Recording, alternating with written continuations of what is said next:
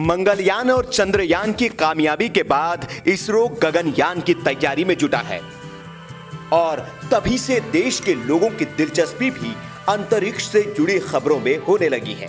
इसलिए आज आपको नासा से जुड़ी एक ऐसी खबर से रूबरू कराते हैं, जो आपके लिए न सिर्फ़ ज्ञानवर्धक होगी, बल्कि नई भी होगी। नासा से खबर आ रही है कि उसका cargo ship SpaceX Dragon अंतरिक्ष में अटक गया है। इस अटकने से मतलब है, उसे पृथ्वी पर लैंड करना था, लेकिन वो लैंड नहीं कर पा रहा है। दरअसल, इस स्पेस एक्स ड्रैगन को 3 जनवरी को ज़मीन पर उतरना था, लेकिन अब ये 5 जनवरी को इंटरनेशनल स्पेस स्टेशन से रवाना होगा और 7 जनवरी को पृथ्वी पर लौटेगा। सवाल आपके मन में यह भी आ रहा होगा कि इस cargo ship SpaceX Dragon को भेजा किसने? जैसा कि इसके नाम से पता चल जाता है कि यह सामान को ढोने वाला शिप है तो इसमें सामान होगा। जी हाँ बिल्कुल, इस कार्गो शिप में ढेर सारे वैज्ञानिक प्रयोगों के उपकरणों के अलावा कुछ जीव भी हैं, जिसे एस्ट्रोनॉट्स क्रिस्टीना कोच और जेसिका मीर ने इस शिप में रखा है। ये दोनों अभी स्पेस स्टेशन पर ही हैं। इस कार्गो शिप को 5 जनवरी को रात सवा नौ बजे स्पेस स्टेशन से रवाना किया जाएगा, जिसे पृथ्वी तक आने में दो दिन लग जाएँगे। और ये सात तारीख को सुबह करीब पौने 11 बजे अमेरिका के कैलिफ़ोर्निया के लॉन्ग बीच से दक्षिण पश्चिम में प्रशांत महासागर में उतरेगा। ये सीधे पृथ्वी की तरफ़ नहीं आएगा, बल्कि ये पृथ्वी के चक्कर लगाते हुए कैलिफ़ोर्निया के लॉन्ग बीच से दूर प्रशांत महासागर में गिरेगा। अब सवाल यह कि स्पेस स्टेशन से इन शिप में क्या भेजा है? तो आपको बता दें कि इसमें 3600 पाउंड, यानी कि 1632 किलोग्राम के बेहद ज़रूरी वैज्ञानिक उपकरण, प्रयोगशाला में उपयोग किया गया केमिकल आदि है।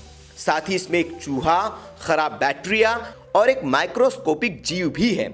इसी कार्गोशिप में रेडिएशन से लड़ने वाला केमिकल भी रखा है, जिससे यह पता चलेगा कि पृथ्वी के इंसानों पर कम तीव्रता के रेडिएशन का क्या असर होता है। और उसे इससे बचने के लिए क्या क्या करना होगा।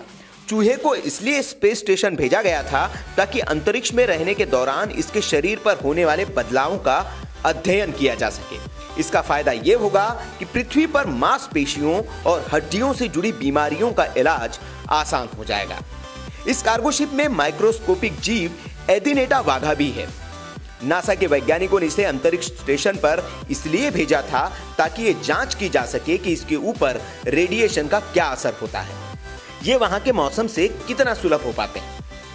ये भी आपके मन में सवाल आ रहा होगा कि कार्गो शिप कहाँ अटका है। तो इसका जवाब यह है कि यह अंतरराष्ट्रीय स्पेस स्टेशन के कनाडा आर्म टू में अटका हुआ है।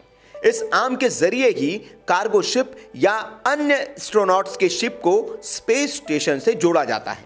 इसी के ज़रिए स्पेस स्टेशन पर डॉकिंग होती है और ये इसलिए अटका हुआ है क्योंकि इस वक्त कैलिफ़ोर्निया के ऊपर का मौसम बेहद खराब है। इस वजह से स्पेस एक्स की वापसी चार दिनों के लिए टाल दी गई है। अमेरिकी मौसम विभाग के मुताबिक लैंडिंग के लिए कैलिफ़ोर्निया के पास प्रशांत महासागर में मौसम बेहद खराब है। ऐसे में कार्गो शिप को ज़्यादा नुकसान हो सकता है और उसमें रखा हुआ सामान भी खराब हो सकता है। तो ये थी नासा के कार्गो शिप से जुड़ी जानकारी। VK news bureau report.